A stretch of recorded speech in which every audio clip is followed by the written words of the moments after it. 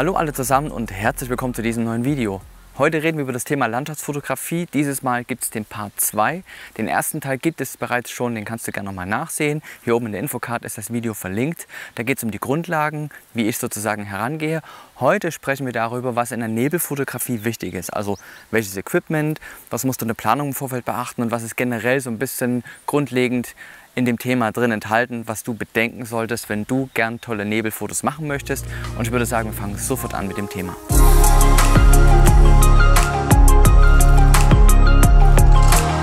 Wie du siehst, bin ich heute hier draußen in der Natur und hinter mir ist ein Stausee. Das passt ganz gut zum Thema, denn um Nebel fotografieren zu können, braucht es Feuchtigkeit. Für mich ist das ideal. Ich wohne ganz weit weg von hier. Wenn du in der Stadt wohnst, musst du dir im Vorfeld natürlich Gedanken machen, welches Motiv du fotografieren möchtest. Und da kommen wir gleich zum ersten Punkt. Mache dir also Gedanken, was du wo und wann fotografieren möchtest. Und zwar musst du dir da genau Gedanken machen im Sinne von, möchte ich an einen Fluss fahren, möchte ich zu einem See fahren oder fahre ich in ein Waldgebiet oder in die Berge. Also das sollte von vornherein schon klar sein, welches Motiv es werden soll, damit du dich auch wirklich gut genug und zielgerichtet darauf vorbereiten kannst. Wenn dir klar ist, welches Motiv du fotografieren möchtest, dann empfehle ich dir im Internet nach dem Wetter zu recherchieren. Und zwar nach dem Wetter an dem Ort natürlich. Unter den hier aufgeführten drei Seiten, ich habe mal drei rausgepickt, da kannst du recht gut im Vorfeld dir deine Prognose heraussuchen. Ungefähr drei Tage im Vorfeld ist da auch sehr sicher sicher, was den Niederschlag, was die Feuchtigkeit angeht, um recht gut vorbereitet zu sein im Sinne von, es ist sehr wahrscheinlich oder dann doch eher nicht wahrscheinlich.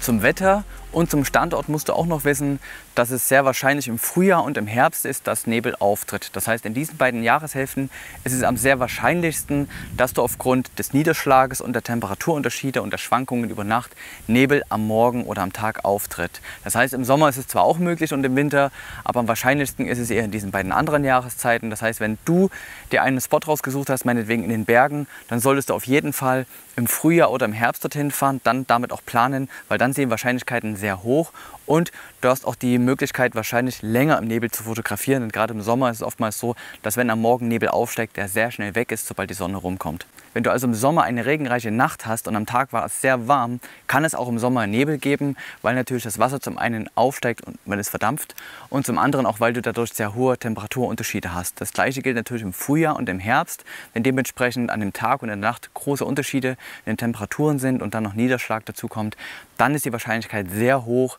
dass du am nächsten Morgen Nebel hast. Also wenn es heute regnet und morgen früh ist aufgeklärter Himmel angemeldet, dann kann es sehr wahrscheinlich sein, gerade im Herbst, dass du dann am nächsten Morgen Nebel hast in einem Seegebiet, in einem Flussgebiet, in einer Aue oder in einem Wald oder natürlich auch in den Bergen.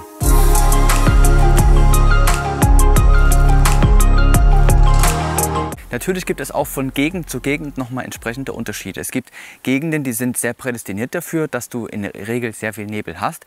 Also beispielsweise in den Bergen ist es eher üblich, dass man dort tief hängende Wolken hat, dass dort selbst in den Wäldern sehr tief die Wolken hängen, dass dort Nebel fast jeden Morgen aufsteigt. Und dann gibt es aber auch Wassergebiete, wo das nicht ganz so oft üblich ist. Also beispielsweise hier im Erfurter Raum, erinnere ich mich, gab es letztes Jahr im Herbst eine sehr lange Zeit, wo viel Nebel in der Stadt sogar war. Das ist eher untypisch, aber es trat letztes Jahr im Herbst auf und gerade der Innenstadt, wo eigentlich kein Wasser groß, weit und breit ist, da gab es auch dicke Nebelsuppen. Das ist eher untypisch. Natürlich musst du aber auch wissen, dass es in den Seegebieten, beispielsweise am Bodensee oder am Eibsee, dann doch sehr wahrscheinlich ist, gerade wenn es in den Bergen liegt, dass dann dort aufgrund der Temperaturunterschiede auch sehr schnell Nebel auftreten kann. Also fahr in die Gegenden, wo Wasser ist, fahr in die Gegenden, wo Berge sind oder wo große Waldgebiete sind, weil auch dort, wo Wasser gespeichert werden kann, beispielsweise im Wald oder in großen Auenflächen, da wird in der Regel auch am Morgen ein bisschen Tau sein und auch Feuchtigkeit aufsteigen, sodass du auch dort eine sehr hohe Wahrscheinlichkeit auf Nebel hast. Kommen wir zum spannendsten Teil überhaupt und zwar das Thema Equipment. Was brauchst du für das Nebelfotografieren und was kann ich aus meiner Erfahrung empfehlen? Ich sage immer, dass es gut wäre, wenn du eine richtige Kamera im Sinne von nicht nur dein Telefon dabei hast. Das ist jetzt völlig egal, welche Marke, welcher Body, spiegellos oder mit Spiegel, whatever. Eine Kamera, die nicht dein Handy ist, fände ich für dich besser. Ich mache das in dem Fall nicht mit der Canon hier, und zwar mit der Sony. Ich habe jetzt aber die Canon hier mal zur Hand. Und in der Regel macht das auch keinen Unterschied, welche Marke, wie gesagt. Ich empfehle dir auch im Vorfeld zu überlegen, welches Objektiv du drauf machen möchtest. Wenn du nur eins hast, dann hast du nur eins natürlich. Wenn du mehrere zur Verfügung hast, empfehle ich dir, irgendetwas zwischen 24 und 150 mm erstmal mitzunehmen. Natürlich kann man da auch noch mehr machen. Da gibt es auch kein richtig oder falsch, wie vielleicht bei der Porträtfotografie, wo es noch ein bisschen spannender ist und schwieriger ist. Ich finde hier bei der Landschaftsfotografie mit Nebel, da ist irgendwie alles erlaubt, was deinem Motiv dienlich ist. Also du kannst nur im Weitwinkel losziehen, 1424 mm oder 1855 mm oder eben auch mal vom 70-200 dann auch gleich auf das 200 bis 600 mm drauf gehen. Je nachdem, was du fotografieren möchtest, empfehle ich dir im Vorfeld erstmal zu überlegen, was du machen möchtest und was du überhaupt hast. Ich nutze in der Regel 24 oder 35 mm standardmäßig für die Landschaftsfotografie, auch bei Nebelsituationen natürlich. Aber ich kann auch empfehlen, mal mit einem Teleobjektiv, das muss jetzt nicht dieses Jahr sein, das kann auch 100 mm, 200 mm sein, dann mal äh, in die Landschaft hineinzuhalten, also da voll reinzuzoomen, weil da kannst du auch mal schön einen Felsen freistellen, da kannst du Bäume fotografieren, da kannst du vielleicht auch Wildtiere, wenn du sie gerade siehst und das Glück hast, fotografieren. Also es lohnt sich vielleicht auch ein Teleobjektiv mal mitzunehmen, einfach um die Dramatik und die Schönheit im Nebel so ein bisschen noch vielleicht besser darstellen zu können. An und für sich ansonsten 24 oder 35 mm sind in der Regel roundabout auf jeden Fall gut machbar und reichen auch für das meiste.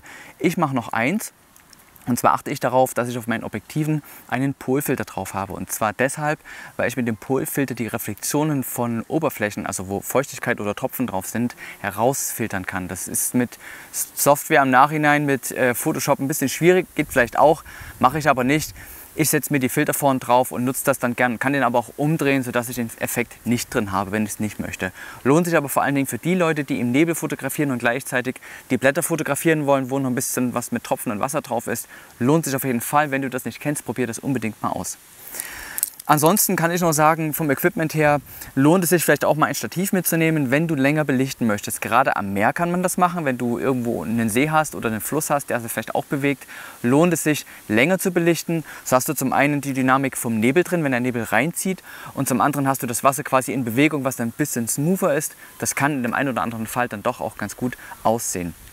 Ich selbst benutze jetzt nicht immer Stative. Ich muss sagen, ich benutze die wenn nur, wenn ich dann gleichzeitig filme am Ort oder wenn ich wirklich geplant habe, länger zu belichten, wie beispielsweise mit Milchstraßen oder so. Ähm, dann kann ich auch sagen, dass Nebelfotografie für Drohnen nicht immer geeignet ist. Also alle, die jetzt denken, okay, ich fliege mit der Drohne los und fliege quasi über den Nebel, das funktioniert nicht immer, kann ich aus eigener Erfahrung sagen. Das hat verschiedene Hintergründe. Zum einen weißt du gar nicht, wie hoch der Nebel gestiegen ist. Also im Sinne von, deine Drohne darf gar nicht so weit aufsteigen oder kann gar nicht so weit aufsteigen, um über den Nebel drüber zu kommen.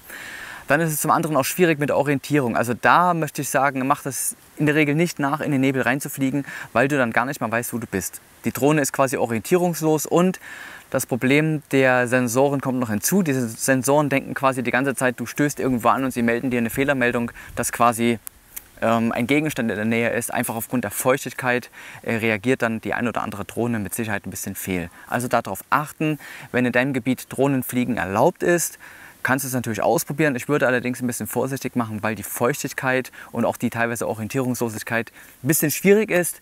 Ähm, das muss dann jeder für sich wissen. Ich möchte da jetzt keine Haftung dafür übernehmen. Ähm, demzufolge entscheidet bitte selbst nach eigener Verantwortung. Ich selbst würde es jetzt grundsätzlich nicht tun. Und noch etwas zum Thema Temperatur. Und zwar, wenn du im Nebelgebiet fotografierst, hast du in der Regel auch eine etwas kühlere Temperatur, als du es vielleicht am Vortag hattest oder an einem anderen Spot. Das heißt, stell dich darauf ein, dass du niedrige das heißt, stell dich darauf ein, dass du eventuell niedrigere Temperaturen dann vor Ort vorfindest und zieh dich dementsprechend an. Also doch mal eine lange Hose anziehen oder eine Regenjacke mitnehmen, das schadet auf jeden Fall nichts, gerade was die Feuchtigkeit und den Niederschlag angeht. Aber auch ein bisschen darauf achten, ob deine Kamera und dein Equipment auch dann wirklich wassertauglich geeignet ist, im Sinne von, wenn dann doch mal ein Schauer kommen sollte oder wenn der Nebel quasi durch euch durchzieht, dann kann es auch mal ein bisschen feucht werden. Und wenn die Kamera das nicht ab kann, pack sie in den Rucksack oder in die Fototasche rein, mach die Tasche erstmal zu und wenn du dann am Spot bist, dann kannst du sie auch immer noch auspacken.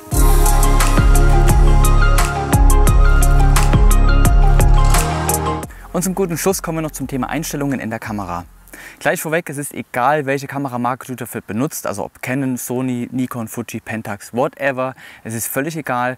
Ich empfehle dir nun nicht unbedingt ein Telefon zu nehmen, sondern schon eine richtige Kamera dafür zu benutzen. In den Einstellungen musst du ein bisschen aufpassen, denn durch den Nebel ist alles sehr hell und sehr weiß. Das heißt, den Weißabgleich würde ich generell im RAW erstmal automatisch lassen, und erst im Nachhinein in der Bildbearbeitung korrigieren. Dann würde ich darauf achten, dass du vielleicht eine halb bis eine Blende überbelichtest, einfach deshalb, damit du deine Schatten dir noch rettest. Das heißt, wenn deine Schatten noch hell genug sind, musst du sie nicht im Nachhinein aufziehen, sodass du dann dort Bildrauschen drin hast was in der Regel meistens gut geht mit den Kameras. Ähm, und eine Blendenstufe überbelichtet ist überhaupt nicht tragisch. Das kannst du in der Regel bei fast jeder Kamera, bei fast jedem Bild noch wieder nach unten regeln. Da musst du ein bisschen ausprobieren und ein bisschen spielen mit deinem Equipment, was du zur Verfügung hast. Ich selber, wie gesagt, handhabe es so, dass ich oftmals eine Blende überbelichte, einfach damit der Nebel schön weiß, schön hell ist. Den kann ich wieder runterregeln zur Not, aber der ist ja nun weiß. Und alles andere in der Landschaft, was Struktur hat, das ist jetzt nicht zu dunkel belichtet und passt dann trotzdem noch für im Nachhinein. So, ich fasse für dich alles nochmal zusammen. Also, du solltest zum einen dir im Klaren sein, was du fotografieren möchtest und wann. Dann sollte in der Regel dort in der Nähe auch Wasser sein, dann ist die Wahrscheinlichkeit noch mal viel höher auf Nebel. Dann sollte vielleicht die Jahreszeit dazu passen. Also Frühling oder Herbst ist aus meiner Erfahrung heraus ideal für Nebelfotografie. Sogar vom Herbst in den Winter hinein, teilweise in den Bergen, passt es echt gut. Ähm, dann solltest du dir im Klaren sein, welches Equipment du mitnimmst. Also nicht nur dein Telefon, sondern vielleicht auch eine Kamera, die du dir ausgeliehen hast oder einfach einen Kumpel mitnimmst, der sowieso eine gute Kamera hat. Dann sollten die Objektive passen. Also das, was du damit natürlich erzielen möchtest, nimmst einen Weitwinkel mit oder einen Tele. Ich kann empfehlen, 24 bis 35 mm ist in der Regel ideal erstmal für den Anfang. Und dann solltest du dir auch Gedanken machen, wie du die Bilder im Nachhinein bearbeiten möchtest. Also nimmst du gleich von vornherein etwas höher und heller belichtet auf oder machst du es ganz normal, machst alles auf Auto. Geht natürlich auch. Hat vielleicht am Ende nicht ganz die Wirkung, die du möchtest, aber geht natürlich auch. Ja, und am Ende gilt es natürlich, die Erfahrung mitzunehmen und das Ganze auch zu teilen. Also reflektiere dich ruhig ein bisschen, was lief gut, was lief nicht gut, was könntest du beim nächsten Mal besser machen oder vielleicht eine andere Location ansteuern oder vielleicht genau die Location nochmal ansteuern, bis du die Wetterbedingungen hast, die du gern dort haben wolltest. Ich hoffe, ich konnte in diesem Video ein bisschen erklären, worauf es ankommt bei der Nebelfotografie und worauf du achten solltest. Ich hoffe, ihr konntet etwas mitnehmen und ich hoffe, ihr könnt davon vielleicht ein paar Sachen beim nächsten Fotografieren im Herbst und im Frühling dann umsetzen. Eure Ideen und eure Wünsche sind natürlich herzlich willkommen. Ihr schreibt sie mir sehr gern hier unter dieses Video in die Kommentare. Da freue ich mich auf jeden Fall wieder darauf. Und wenn ihr mich unterstützen wollt, dann liked dieses Video, abonniert meinen Kanal hier auf YouTube. Und dann würde ich sagen, vielen Dank fürs Zuschauen und bis zum nächsten Mal. Tschüss.